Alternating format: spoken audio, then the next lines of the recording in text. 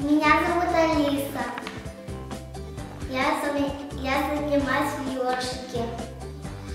Но я там, я там люблюся, рисую и снимаю мультики.